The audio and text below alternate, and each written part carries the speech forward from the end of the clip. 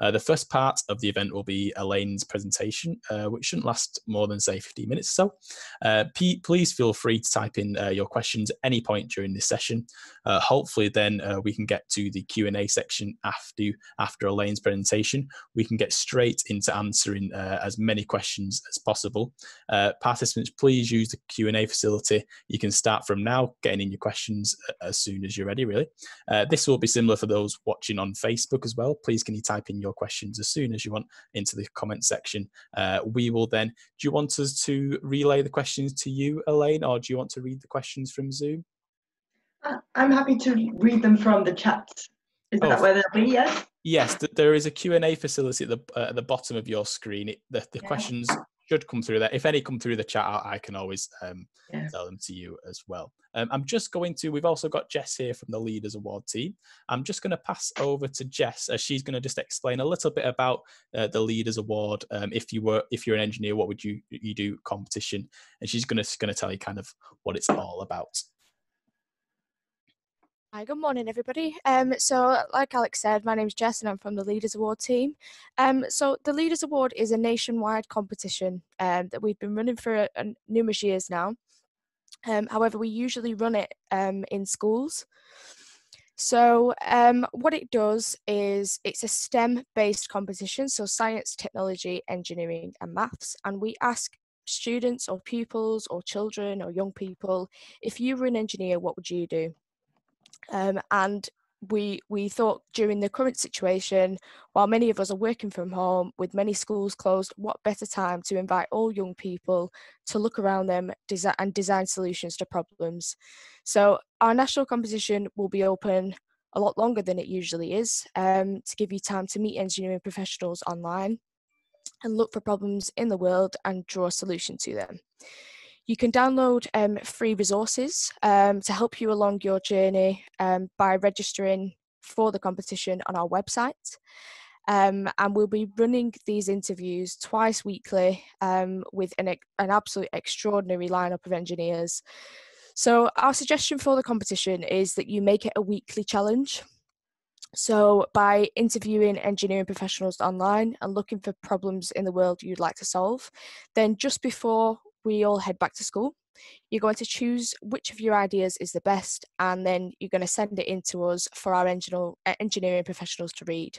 Um, so this is a great opportunity. Um, anybody who enters into this competition receives a certificate.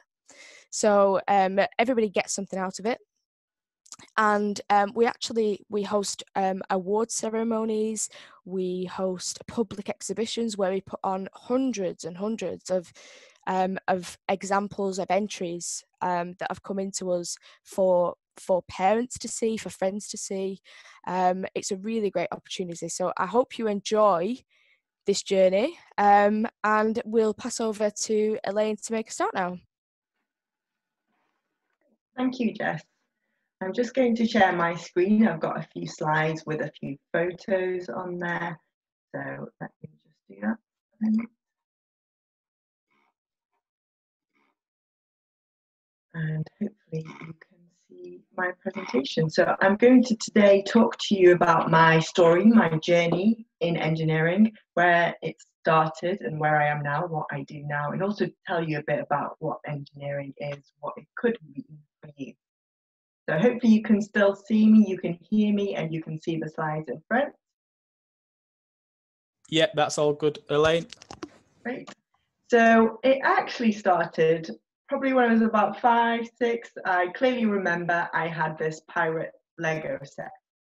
And looking back, actually, this was quite crucial in my um, love of engineering and my aptitude development as well. So Lego and construction toys, uh, Meccano or anything like that can help you understand 3D shapes, how they work, how things come together, the sense of satisfaction you get when you build and you create something as well is immense especially if you've got little pulleys you've got different things that you can move around and you can be so creative with these toys and actually while playing and while creating you're learning you're developing your skills that are very useful for engineering so you could even say that this type of play is learning just something to bear in mind.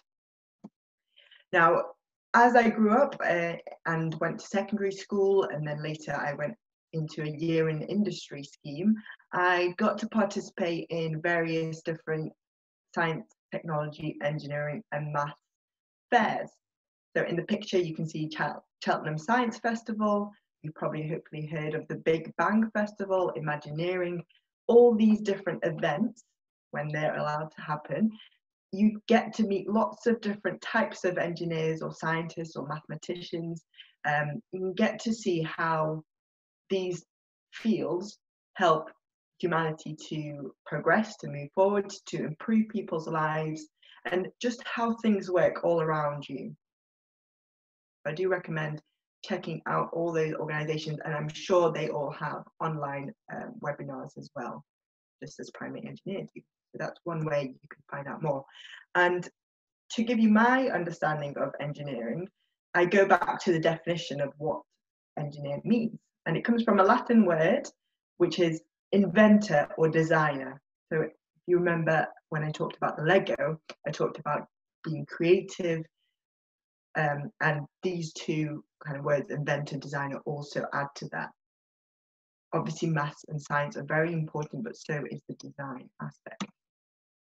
In terms of types of engineering, there are so many. I'm going to choose um, four images to help you understand what they could be. So the first one is an electric car or any car. It requires automotive engineers, it requires systems engineers, it requires mechanical engineers. You need to think about how the car will feel for the people sat inside, how it drives, how smooth the ride is. Now we want to think also about what it emits or doesn't emit, because obviously the environment is very important and protecting that. Um, so if we are not emitting, if we're not burning fossil fuels within the car, then how does it charge? When does it charge? the charging network, and I'll talk to you more about that because that's where I my, job comes in.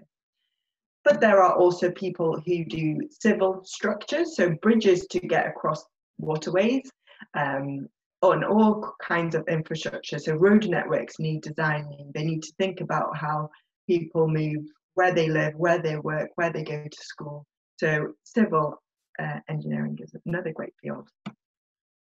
In this picture, we can see lots of different phones. So we've got electronic engineering, we've also got software engineering, um, all those apps that you might use. Maybe you, you've uh, recently gone to TikTok or Facebook, all those were written by software engineers.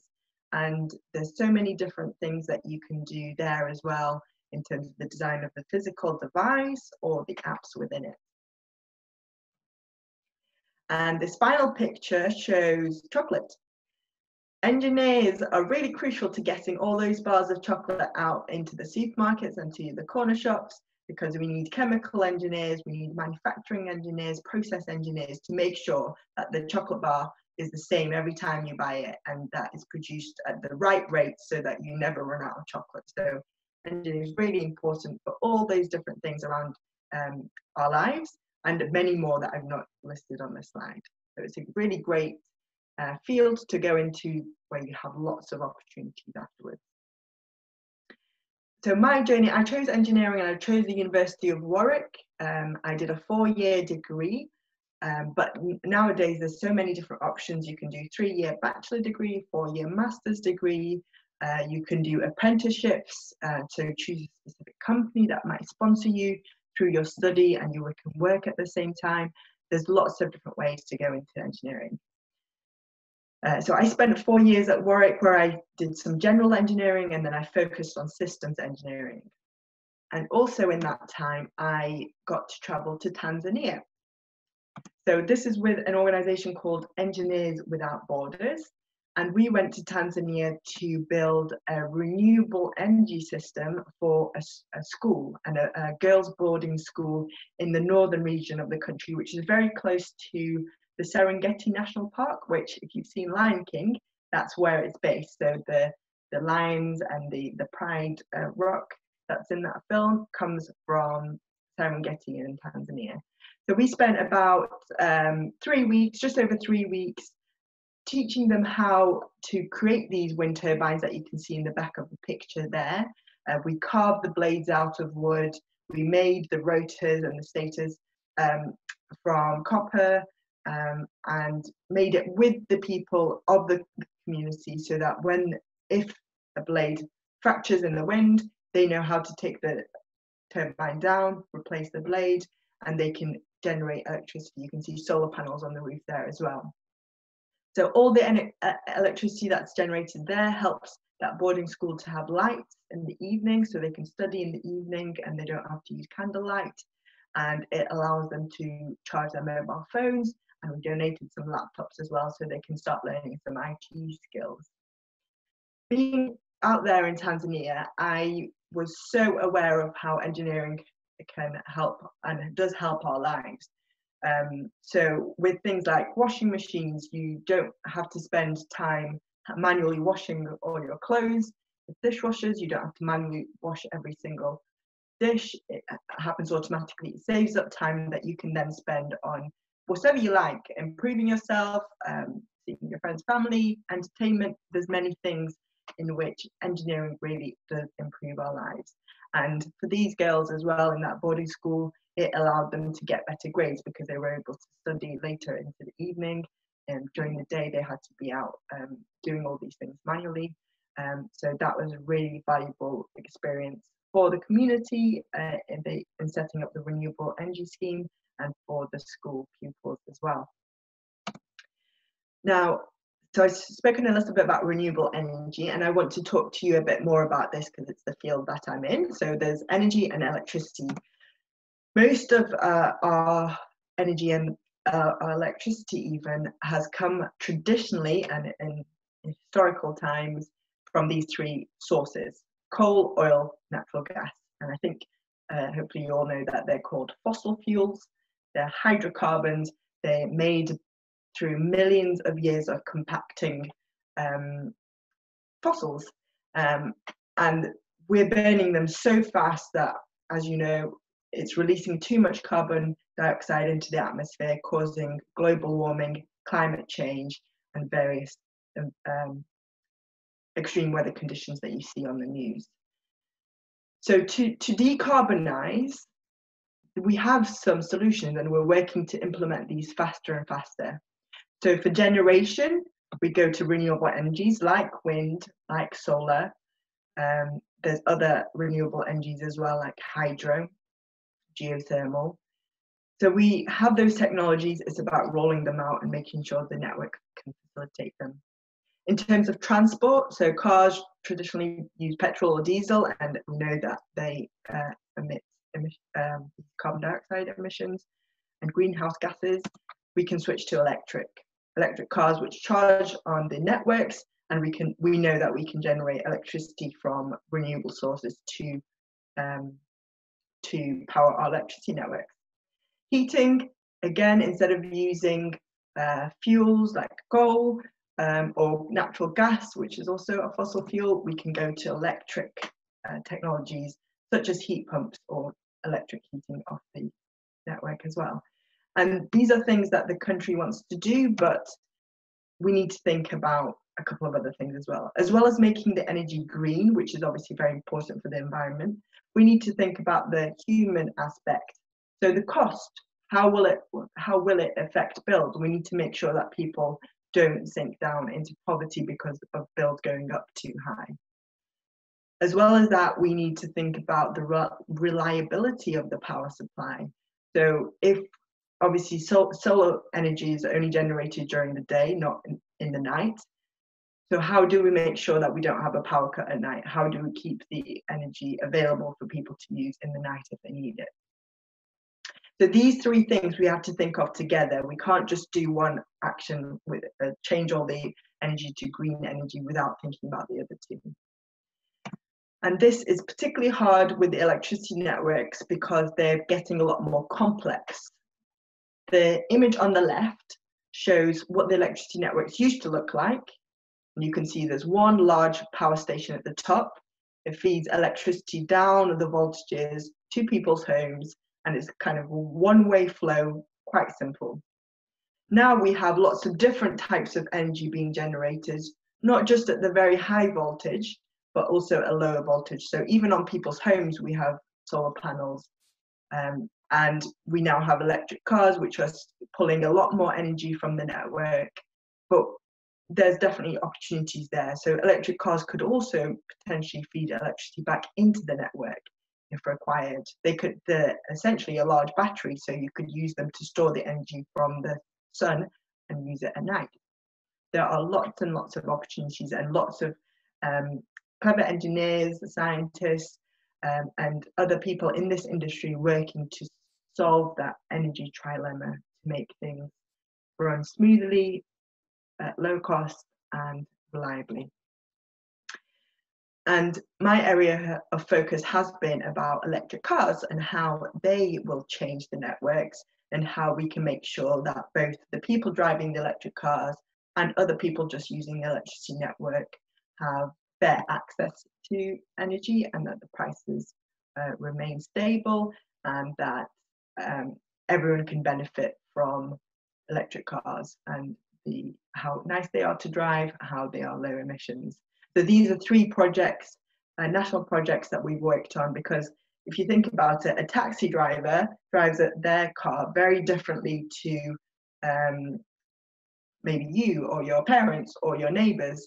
And there's all different kinds of uh, journeys that different people will make. Um, so maybe Monday to Friday, normally you'd have one type of journey. At the weekend, you might have a different type of journey. Depending on how close you live to work or where you work, that will change.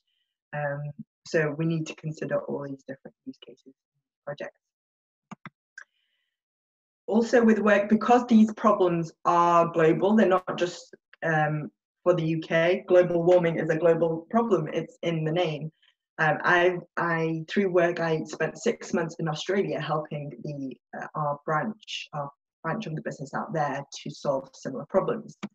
So in that time, I was able to speak to people about what we'd learned in the UK, how we were dealing with things in the UK. We de developed a model for Australia to work with. And that was a really great experience, not just from the work and career side, but as with in Tanzania, we got to go to the safari where Lion King was made. In Australia, I got to see some kangaroos and koalas. So with engineering, you get so many opportunities to travel and um, talk to different kinds of people and experience different experiences. That's another reason why engineering is great. Um, but to me, it comes back to this solving these different problems that are happening um, around the world. There's so many opportunities as well to get the best to benefit everyone in society with the changes that are happening by balancing everyone's energy needs. So I hope that that's useful to you, that you've learned something, um, and I look forward to hearing your questions. Thank you.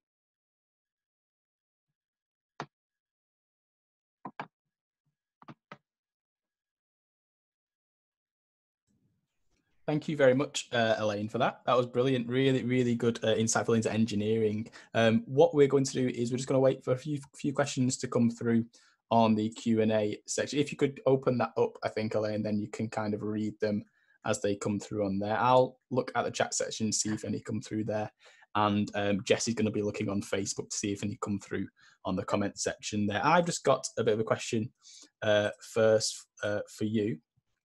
Uh, so, what made you want to become an engineer in the first place? Yeah, so I enjoyed the building with Lego, playing with Lego. I enjoyed maths. I thought it was um, very structured, very easy to to get better at maths. I found that quite um, kind of easy for me. Uh, it wasn't always easy, but it was easy that if you try, try, try, you will get better. And um, I could see kind of the progress in maths.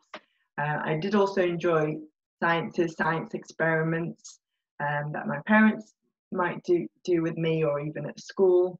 Um, I had a really great physics teacher as well who encouraged us and who showed us through various different initiatives what um, engineering could be. And we, I met when I was at school lots of different types of engineers, and I thought this is definitely an area I want to explore further, especially because there are so many different opportunities. So even though by the point I went to university, I didn't know exactly what type of engineer I wanted to be, I knew that there was many things I could do by choosing to study engineering.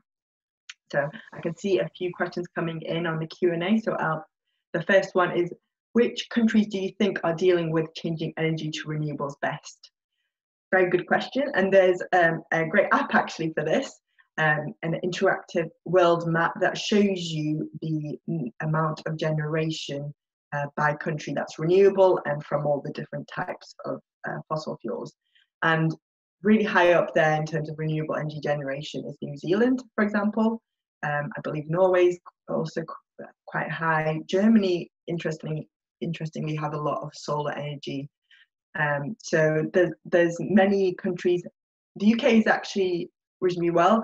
I don't know if you've seen on the news, we've had a few um, days and even weeks with no coal-fired power stations running, so it's um, a lot more wind here. Uh, so yeah, every, every country is moving hopefully cl closer to that goal. We've got lots of questions, so I'll move on. When a person thinks of an idea but is not an engineer, can they still pass it on to real engineers to work on and make it real? Absolutely. I think to, in this day and age, we need to work together with people that aren't engineers. So um, we do a lot of work with uh, um, market research people, people who understand psychology and human behavior, because that's really important in designing the correct technical solutions. Um, and a lot of startups have people from different fields as well working together. So yes, that's very important. We do work with non-engineers as well. What part of your work do you think has had the biggest input on their specific community or country? very interesting question. Um, so a project that I've done recently was about building a smart grid architecture model. Uh, hopefully that makes some sense in each of the words. So a model that represents what the network should look like. And in that model, we represented what different organizations' roles would be in, in, a, in a future where we need more flexibility on the network uh, and where we have more renewable energy and low carbon technologies, um, where people choose to have low carbon technologies on their homes. Um, so we represented what each different role, whether it's government, whether it's the electricity networks, whether it's gas networks, whether it's customer advocates, what role they would play in this new world. And I think that really helped to bring all these different players um, together in one um, forum because we have workshops to, de to develop this and to disseminate this and also um, in terms of the actual um, output of this, the model is viewed uh, online, viewed on the Open Networks project, so that helps everyone to come together on that. So that's one project that has had hopefully a big impact on the country. Um, so that, that was the same project in the UK and Australia as well. Um, can you give me the name of the app? I will look for it and let you know. Yes. What subjects would it take to be an engineer? So the main one that's absolutely essential is maths. Then physics is the next most useful. And then depending on what type of engineering you might um, like to do chemistry. Um, there's subjects like further maths as well, biology. Um, I also did uh, in my uh, studies I did geography, I did um, IT during my GCSEs. In uh, A levels, I did English and French because everything is useful, and you do learn um, at university as well the subjects that are most relevant. So, um, yeah. Just follow it. Just following on from that, Elaine. Um, do you have kind of apprenticeship schemes at, at your place of work? Um, so my place of work, there's uh, four main dif- four different departments. The side I'm in is consultancy side. Um, I believe that the the side where we do um, on-site surveys and we do um, so of uh, electrical sites, they may do apprenticeships. I'm not 100% sure, um, but that's something I can find out. I know um, in the Northwest where I'm based, there are other companies, BAE Systems definitely do apprenticeships. Um, so uh, I think Rolls Royce do apprenticeships. So uh, yeah, I'm not right. sure about Thank you very much. We're small, but, thank you, thank uh, you. Yeah. Um, do you think we will all use electric cars in the future? Yes, absolutely. Um, the government are bringing in bans on fossil uh, on petrol and diesel cars. Um, I think that's moved to 2035 now, so you won't be able to buy a new electric, uh, a new petrol or diesel car after that date. Um, I think people are realizing that the total cost of ownership. So even though an electric car might be more expensive upfront, you save so much on fuel um, and you save on other things like road tax um, that overall it does even the price is better as well as obviously some other factors about electric cars. And um, the price will come down as well the more cars are produced and the more the factories can um, gen- uh, produce more electric cars. They are actually really nice and smooth to drive. They're quiet. So i do think electric cars are the future um, and you can charge them at home as well so you don't need to go anywhere and um, that that's really helpful We're just going to pass over Elaine to uh, Jess. Uh, she's looking at Facebook comments. Uh, Yeah. Jess, have we got any questions that come through on there? So, um, why is engineering so important in school, and what what skills does it teach you as a young person? Um, so engineering is really important because of the uh, skills it teaches you. So it teaches you to problem solve. It teaches you to be creative. It teaches you to look into how things work, um, to understand them, to be able to solve the problems.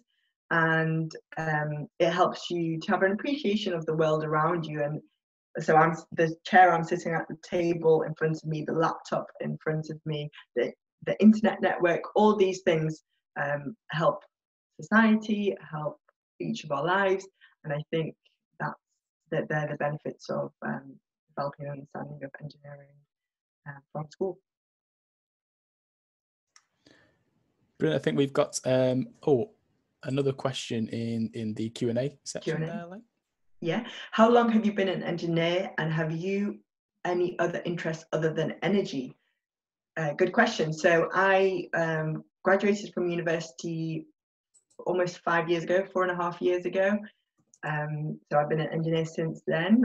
Uh, and in terms of other interests other than energy, good question. Um, so broadly about sustainability and reducing waste. Um, from a systems perspective, circular economy is a very interesting concept that I think hopefully there'll be more thought put into as we progress with what we're learning from this lockdown period um, about community and the role of the economy within the community and within the environment.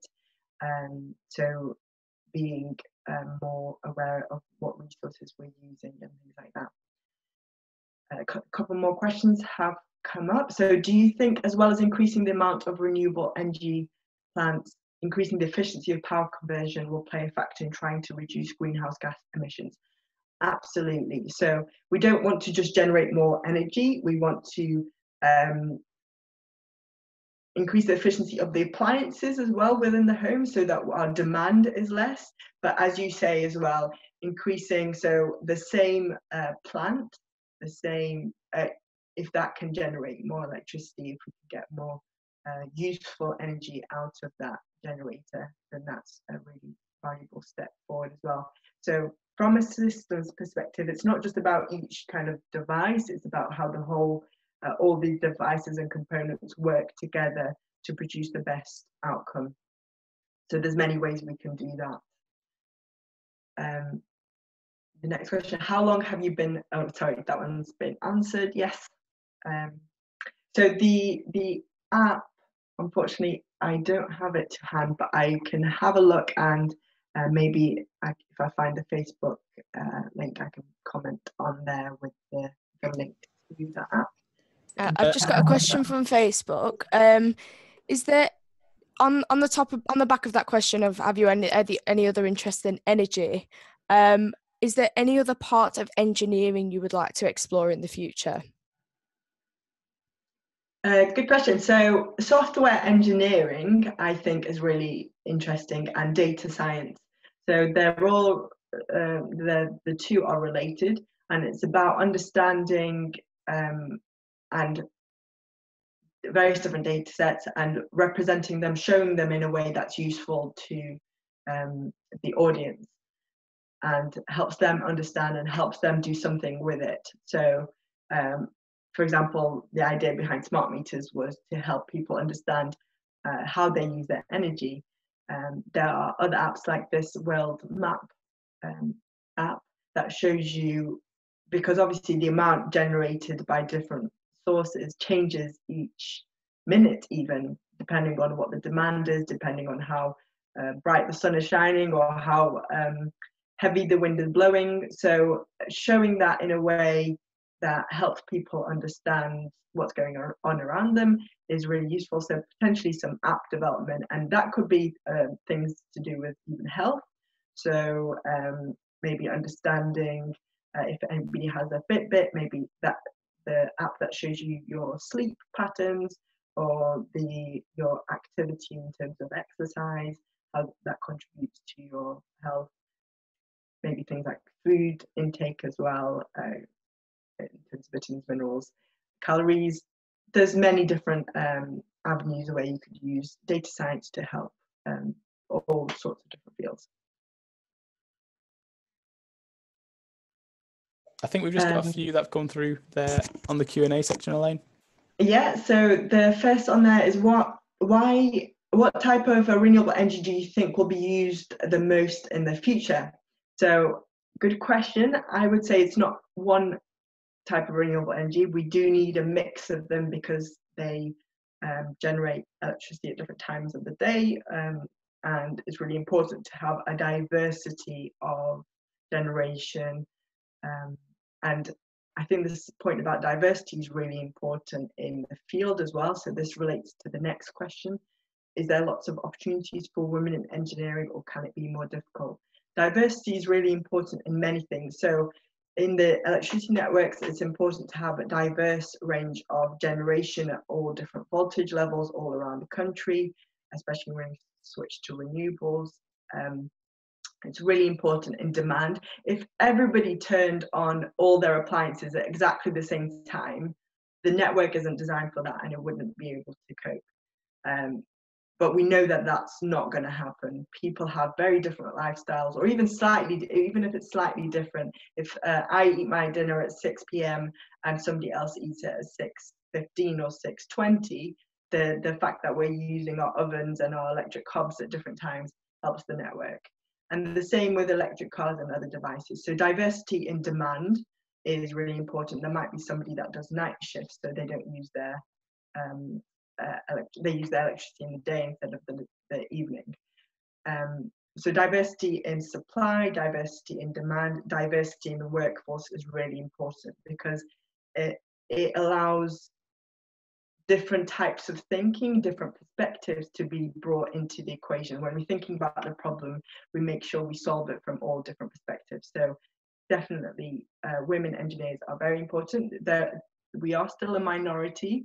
Um, so the statistic is about one in 10 are of uh, one in 10 engineers are female, um, but there's lots of opportunities, as many as, uh, for men as there are for women and there's lots of networks as well to support women who might feel like I'm the only woman in the room. What do I do? Am I okay to do whatever, uh, speak in front of everyone?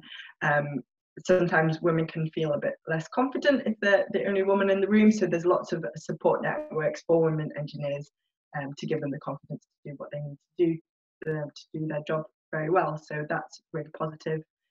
Um, how long would it take to be an engineer? So there are many different routes. My route was uh, after my A levels, I did four years at university, but that was a master's degree because I wanted to become chartered, um, and it helped be, me to become a chartered engineer a little bit quicker. but you could do a three-year degree and go straight into um, work, or you could do an apprenticeship. Um, I think that could be from age 16 as well. So you start working straight away um, and kind of learning alongside that.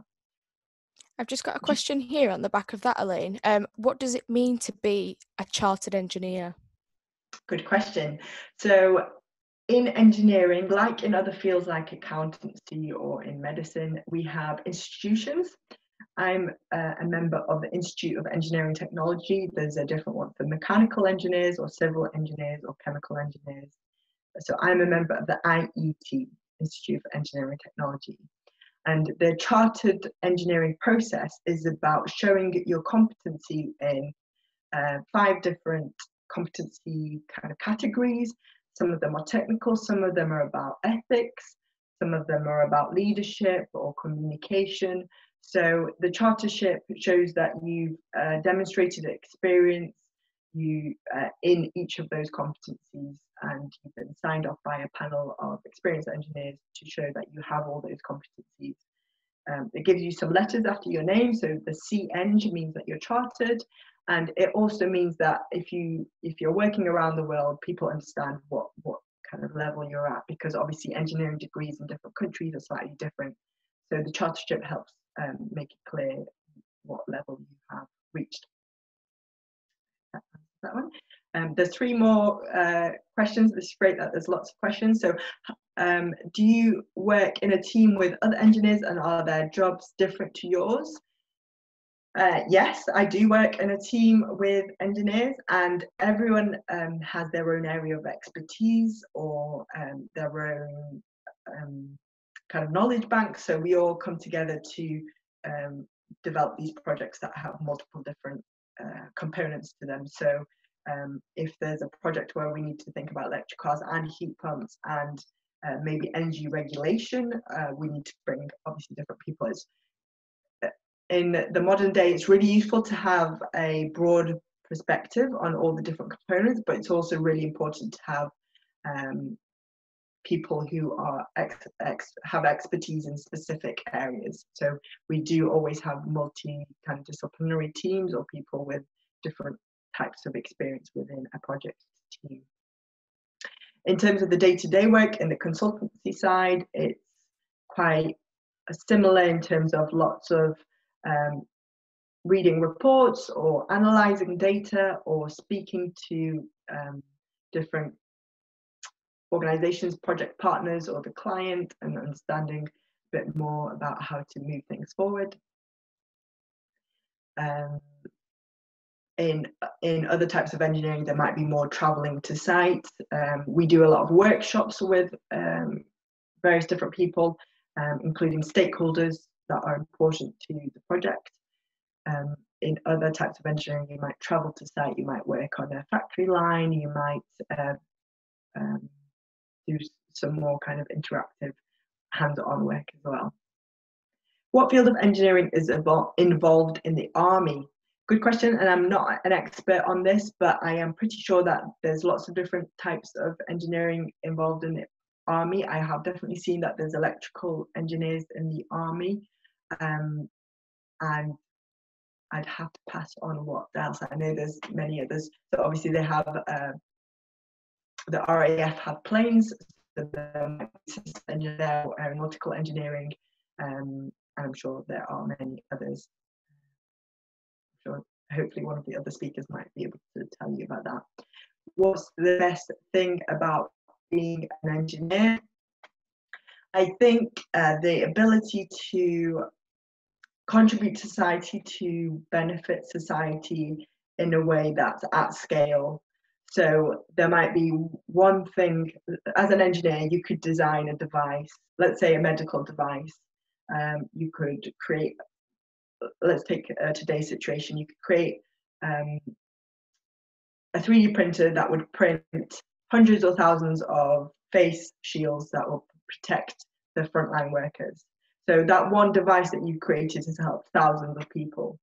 Um, that so that's one example and in everything there seems to be this multiplicative um, multiplying effect on the benefits of what an engineer can do I think it's really powerful that we can make um, people's lives better. That would be my my best thing about being engineering, but everyone will have something different. Just got one on Facebook. Um, do you think renewable energy could be a good theme for an invention idea when doing the Leaders Award? Yes, definitely. How would you put that into um, if like if you were to make an invention for the Leaders Award using renewable energy? What what would it be? So you could think about how uh, if you how renewable energy would be integrated with a design for a different house, for a design for a school, maybe a design for a car, um, a design for if you integrate it with uh, something else in in your life, uh, it might help you think of something a creative way, maybe even a boat. Uh, how could you integrate renewable energy? So you know the the basics of wind turbine solar panels, but maybe you could come up with a design that implements those renewable energies with other um, other things in, in life. To have a brainstorm, have a think about all the different things that uh, you could implement renewable energies with, and I'm sure you can come up with a few sketches or designs. Hi, Elaine. Um, I know you kind of talked about in your presentation that you went to, say, Australia. Um, to is that your favourite place you've been to for work, or is there another place that you've enjoyed going to as well? Um, yeah, so uh, as well as Australia and Tanzania, I've been to Madrid on conferences. Um, I've been to Scotland. I've been to Ireland. Um, various places. I think Australia is probably my favorite because I spent the longest time there. So I got to explore uh, different parts of Australia. Um, I got to go on lots of nice hikes. Um, I was in Brisbane in Queensland, so I got to see the Gold Coast, the Sunshine Coast, and there's lots of national parks there with really beautiful nature. Um, so I really appreciated that time out there and um, really interesting to see how a different country approaches um, their energy kind of sector and the things that need to happen there and also even just the cultural differences. You'd kind of think australia they still speak english so it shouldn't be too different but i noticed some cultural differences which were um, very interesting and refreshing kind of approach to life. Um, so i really enjoyed that. I got back about a year ago, and I was just looking through my photos recently as well, and really um, reminiscing on what a great experience it was, and what uh, interesting people I met, and uh, all the things I learned, not just in engineering but in life in general. So yeah, really um, value that experience of spending time um, with the team in Australia it seems like a career that can take you to kind of lots of different places, doesn't it? So uh, I think that's really exciting, especially for our uh, young engineers that are kind of watching today. Um, yeah. Just talking about the Leaders Award, like we did before, um, what kind of skills do you think it, it, it, it develops in young children and in primary schools and secondary schools? Yeah. So uh, engineering helps um, I think I've said some of this a, a little bit, but I, um, I can say it again. So, in terms of creativity, in terms of problem solving, um, and these are skills that are really useful in life in general. There'll be problems in your life that you want to solve, and you'll think about different ways of approaching them, different um, people that might be able to help you with. And that's very similar to what we do in an engineering job. So you think about the people that will be helpful, that will provide some expertise, some knowledge. You'll think about how to integrate all that, that different knowledge, those different perspectives to provide a solution that that you then make sure meets the needs of whoever the customer is. Um, so those skills, uh, the analysis, analytical skills, understanding what to look at what is important when considering the problem because there's there's many aspects to a problem and some of them are not significant or not as important as other aspects. So being able to um, engineering judgment uh, provide engineering judgment on a particular problem and a particular solution to come up with the best way forward is really important because there's never in life there's never a very easy right or wrong or um, to a problem. There's many different options. So being able to assess which one's the best and being able to present that um, as the way forward and being able to implement that and make sure that the benefits you thought would ha- happen do happen is really important and can be applied in many different ways. So um, I would say they are the main benefits. Fantastic. Um, just coming away from it a little bit from engineering, what what do you kind of do away from engineering to kind of de-stress, Elaine? Yeah. Um, so I think this is a really good point, and for anybody that's not sure about engineering, what I would say that is anyone that's an engineer is also so many other different things. So for for myself, I done some I enjoyed doing some running and some triathlon events, so I do that type of things. I really enjoy music, attending concerts or gigs when that can happen. Um, I go to a lot of festivals usually, um, so I enjoy that. Um, I enjoy dancing as well, so I've done some Latin and ballroom dancing. I've done, um, when I was at university, I did some street dancing. I've done all different kinds of dancing. I enjoy things like cooking. I do like traveling as well there's many different things. and each of my colleagues have very different interests as well. Some people like, um, I don't know, uh, art or um, knitting or crochet, or uh, some people like uh, gaming, or some people like, um, what else they like?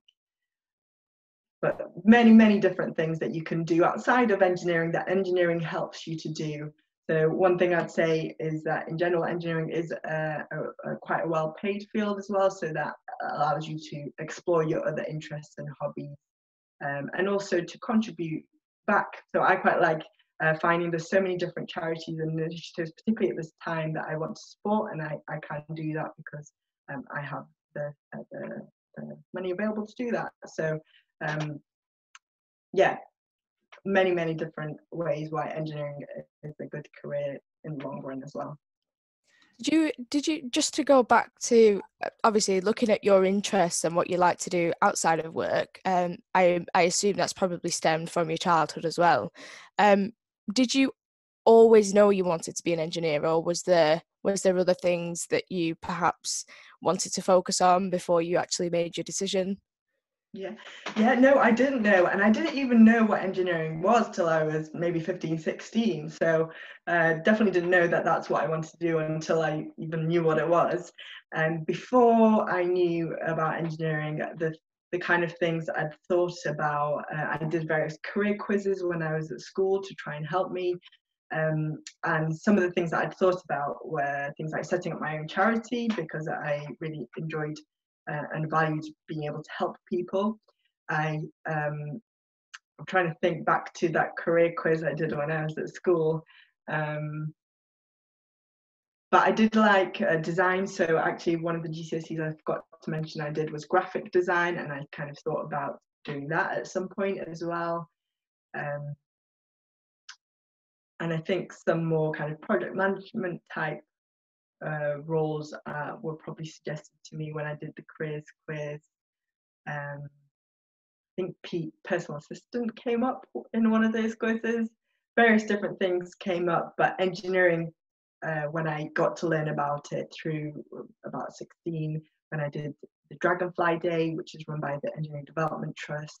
I did a Head Start course run by the Engineering Development Trust as well, which is one week in university. I think a when you're 16, 17 ish.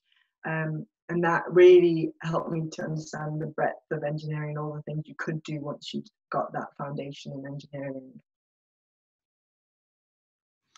I think it's I think it's quite important, uh, like you said um, before, Elaine, that you have like kind of lots of different hobbies, um, and I think that's probably where most kind of ideas kind of stem from.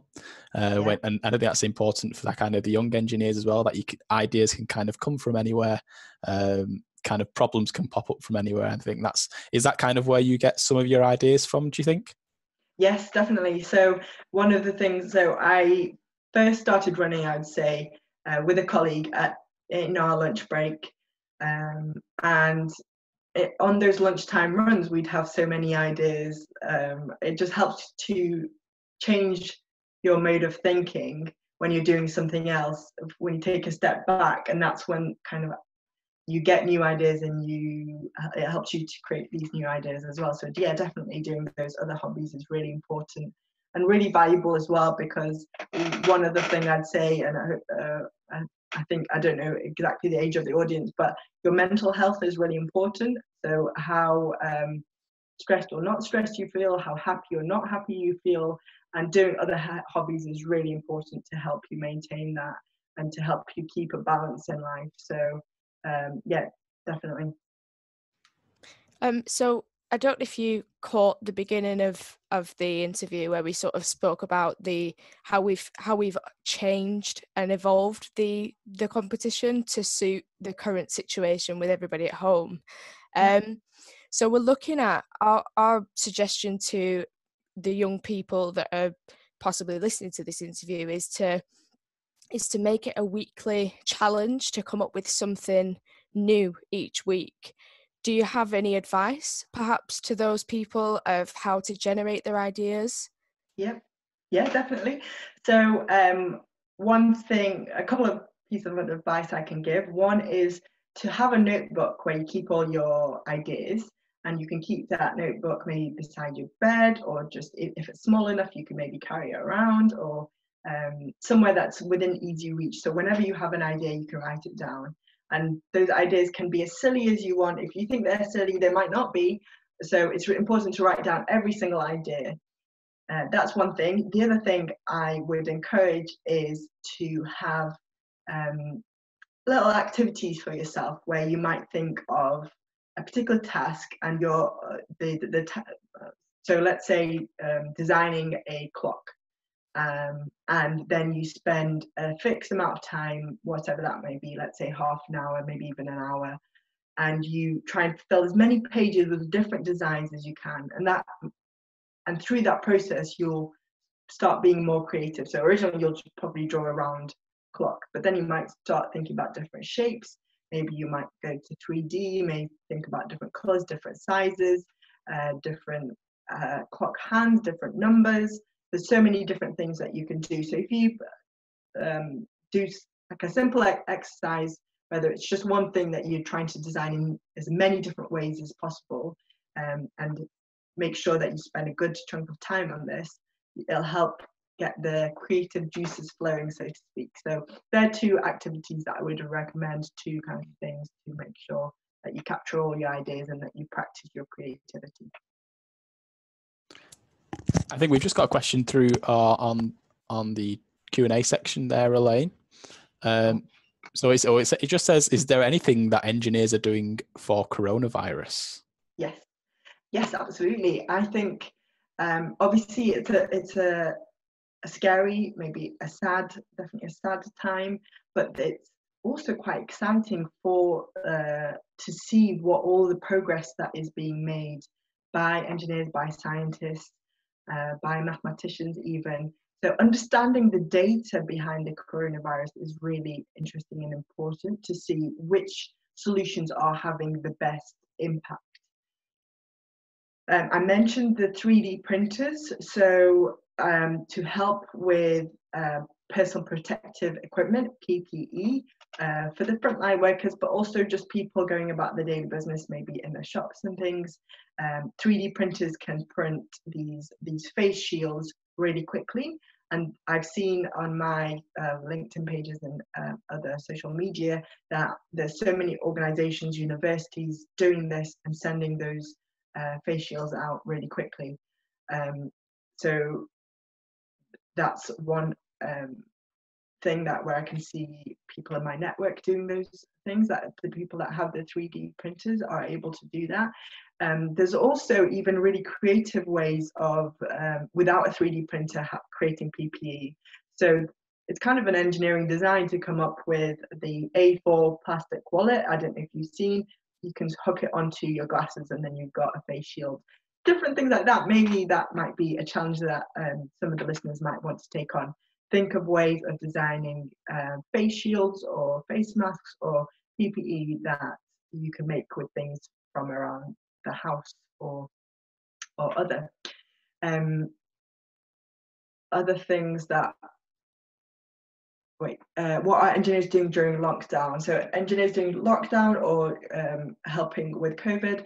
So a lot of engineers like myself are able to continue working because we do modeling, we do computer aided design. Um, so it's all computer based and we can carry on, we can keep having the conversations with technologies like Zoom, like uh, there's many other uh, video conferencing technologies or collaborative technologies. So we use something called Teams at work where we can chat to different people, where we can have collaborative boards, um, where we can all work on the same documents at the same time and we can um, do the same things that we do in the office but online now. So a lot of our work um, is not uh, is the same as it was before. Just now we're doing it at home instead of being in one office. Um, and yeah, coming up with different solutions to help with COVID. So um, maybe hospital beds designs, uh, setting up the wards in the uh, different uh, um, venues as well. So some obviously there's lots of different types of professions involved in this, uh, but engineers definitely have a part. And I've noticed that with the slowdown in traffic, um, the roads are being uh, repaired and they're working on that. Uh, we're working on the designs for electric vehicle infrastructure, charging infrastructure, so that because now we're enjoying all this clean air, where we want that to be the same in the future. So if we have the charging infrastructure in place, more people can buy cars, even if they live in a flat or you know if they if you can't charge at home, we want people to be able to charge um, on the street or in you know shopping centres or leisure centres or um, things like that. So we we're making sure that the network is built and ready for um, public charging.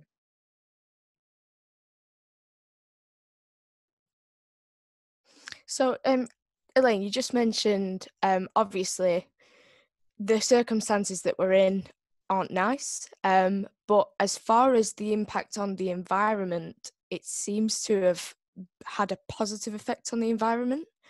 Um, obviously, we've got a negative and a positive. So how how would you suggest that we then sort of not going back to normal, but perhaps creating a new way of life to incorporate the both the positives and negatives of this current situation? What would you say? What would you, your answer be to that? Yeah, uh, definitely. I think we need to each of us and as a collective uh, spend some time reflecting on what are the good things that have happened. Have you been able to spend more time with family? You spent less time in a car commuting. Um, you spent, you got to enjoy the clean air. Um, there's maybe no smog. I don't, I don't know. I think people um, on this call are probably from all parts of the UK. Um, so, how and what has led that to happen? And how can we keep those things? So previously people thought i can't work from home but now we know it's possible. We know we've been forced to do it so we have done it and we now have everything in place to be able to do that. So potentially um, at work there could be new policies to encourage more working from home throughout the week if that is possible. If uh, more family time is one of the benefits how can we carve that out? Do we want to make that more regular? Do we want to make sure that our holidays are um, kind of protected times where we can spend time together and be uh, together with each other? Uh, in terms of the environment more broadly, can we acceler- accelerate some of the government policies to make sure that we keep the benefits um, of this reduced emissions from reduced travelling? What we need to think about how we can make it acceptable when the lockdown is lifted to travel less and how we can encourage people to do that. Maybe um, some of these physical events, conferences will move to webinars more because it, it's probably cheaper to run than hiring a big venue. It's more accessible to people who can't travel. And yeah, there's many benefits that we each kind of different parts of the society, we need to put our heads together to think how we can translate this um, into long-term benefits when the lockdown is lifted. Uh, thank you very much. Thank you very much, Elaine. There. Um, what I want to say uh, now is just like you said before about kind of COVID nineteen and, and coronavirus, a really good question from there. Um, I think that could be another good theme, say for the Leaders Award, like you said about renewable renewable energy as well. I think maybe coronavirus could, could be could be a good theme, good problem for the young engineers to solve as well. I just want to say a big thank you um, to you, Elaine, for taking time out of your day to do this today, um, and thank you for answering those. I think there's also done some brilliant questions there today uh, from our participants. Um, so thank you everyone else as well. Um, just want to reiterate what Jess said um, earlier um, about this being a home project. So next steps for everyone if you could try and have a go at our Leaders Award competition. Uh, come up with lots of ideas. Um, I think you've been inspired by Elaine today, so lots of ideas I think will come from this interview. Um, if you haven't already, to then help you with this, if you register online and have access to our, lots of our resources to help you come up with lots of ideas, lots of inventions, get them down on paper. And then next week, uh, we'll have lots of other interviews as well with other engineers who can inspire you as well. I'll just share my screen um, as well if everyone can see that. Let me just share it here. Um, so if you can see lots of our other uh, engineer interviews coming up as well, just like we've had Elaine today. Um, just another, again, big thank you to you, Elaine. I think we'll finish it there. Uh, Thank you. Hope, hope, hope you've enjoyed it. Hope everyone else has enjoyed it as well, just as much as me and Jess have enjoyed it. Yeah, thank you, thank you very much, Elaine. Um, just for um the the listeners, really, if if you or your mums or dads or carers have have Facebook as well, we are we do stream these interviews um, live on Facebook. So if you were struggling with the with the process of the the zoom we do it on there as well um, we constantly post on our social media with updates um, of our exciting lineups like like today's um, interview with elaine. So just keep your eye out for those um, and keep those creative juices flowing. Um, and yeah that's a big thank you. Thank you everyone. Have a great day. Thank you. Bye bye bye